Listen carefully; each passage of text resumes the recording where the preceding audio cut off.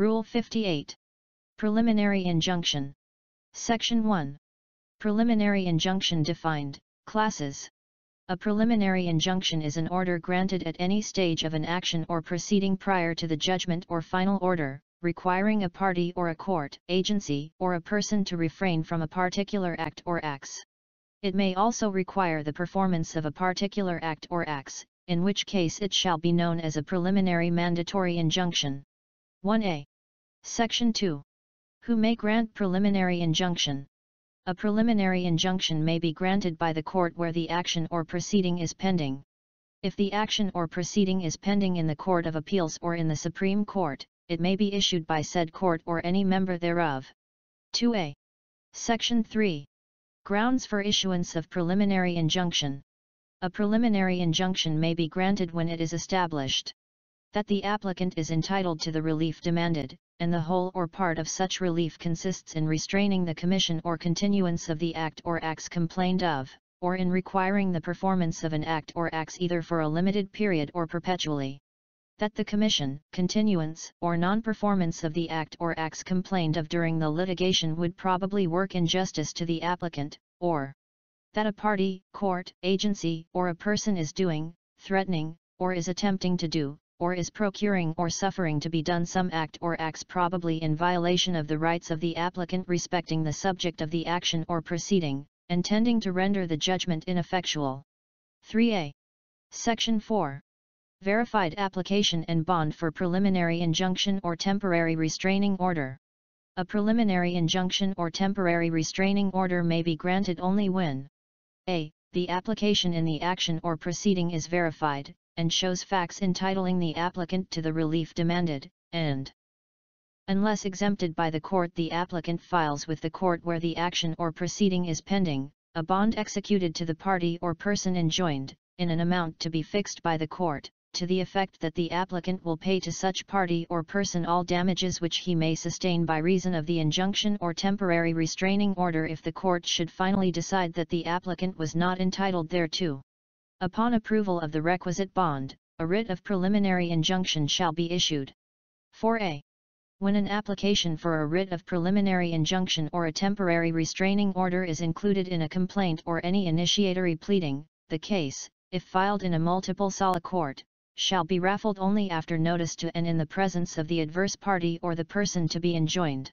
In any event, such notice shall be preceded, or contemporaneously accompanied, by service of summons, together with a copy of the complaint or initiatory pleading and the applicant's affidavit and bond, upon the adverse party in the Philippines.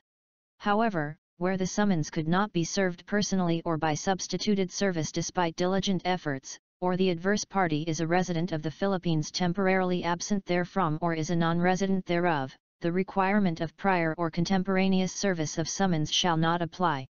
The application for a temporary restraining order shall thereafter be acted upon only after all parties are heard in a summary hearing which shall be conducted within 24, 24 hours after the sheriff's return of service and slash or the records are received by the branch selected by raffle and to which the records shall be transmitted immediately.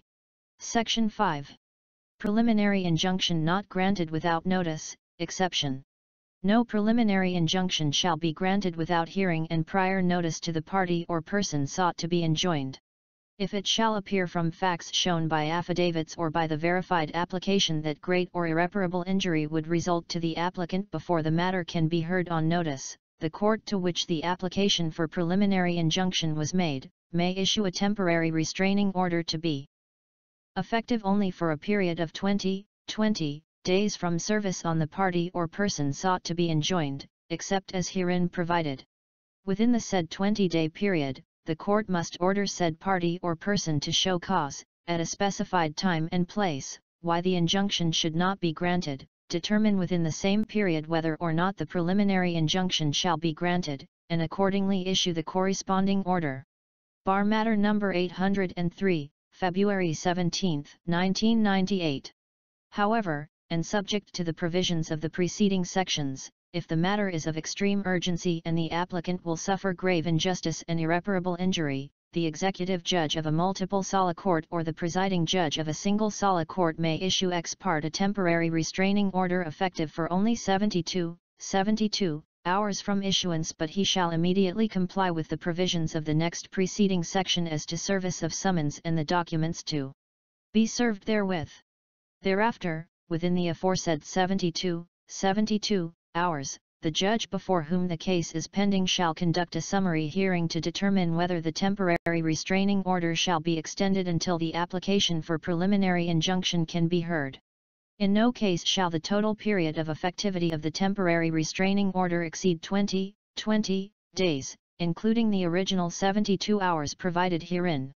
In the event that the application for preliminary injunction is denied or not resolved within the said period, the temporary restraining order is deemed automatically vacated. The effectivity of a temporary restraining order is not extendable without need of any judicial declaration to that effect and no court shall have authority to extend or renew the same on the same ground for which it was issued. However, if issued by the Court of Appeals or a member thereof, the temporary restraining order shall be effective for 60. 60 days from service on the party or person sought to be enjoined. A restraining, order issued by the Supreme Court or a member thereof shall be effective until further orders. 5a. This application will let you trade all assets in the market today which include stocks, crypto, ETFs, indices, forex, commodities among others. You can also copy the trades of the best traders which is called social trading or copy trading. Earn rewards, start by using my affiliate link. I may earn commissions from your registration. Section 6. Grounds for objection to, or for motion of dissolution of, injunction or restraining order. The application for injunction or restraining order may be denied, upon a showing of its insufficiency. The injunction or restraining order may also be denied, or, if granted, may be dissolved, on other grounds upon affidavits of the party or person enjoined, which may be opposed by the applicant also by affidavits. It may further be denied, or if granted, may be dissolved, if it appears after hearing that although the applicant is entitled to the injunction or restraining order, the issuance or continuance thereof, as the case may be, would cause irreparable damage to the party or person enjoined while the applicant can be fully compensated for such damages as he may suffer, and the former files a bond in an amount fixed by the court conditioned that he will pay all damages which the applicant may suffer by the denial or the dissolution of the injunction or restraining order. If it appears that the extent of the preliminary injunction or restraining order granted is too great, it may be modified. 6a. Section 7. Service of copies of bonds, effect of disapproval of same. The party filing a bond in accordance with the provisions of this rule shall forthwith serve a copy of such bond on the other party, who may accept to the sufficiency of the bond, or of the surety or sureties thereon. If the applicant's bond is found to be insufficient in amount, or if the surety or sureties thereon fail to justify, and a bond sufficient in amount with sufficient sureties approved after justification is not filed forthwith the injunction shall be dissolved. If the bond of the adverse party is found to be insufficient in amount, or the surety or sureties thereon fail to justify a bond sufficient in amount with sufficient sureties approved after justification is not filed forthwith, the injunction shall be granted or restored, as the case may be. 8a. Section 8. Judgment to include damages against party and sureties. At the trial, the amount of damages to be awarded to either party, upon the bond of the adverse party, shall be claimed, ascertained, and awarded under the same procedure prescribed in Section 20 of Rule 57. 9a. Section 9. When final injunction granted, if after the trial of the action it appears that the applicant is entitled to have the act or acts complained of permanently enjoined the court shall grant a final injunction perpetually restraining the party or person enjoined from the commission or continuance of the act or acts of confirming the preliminary mandatory injunction. 10a.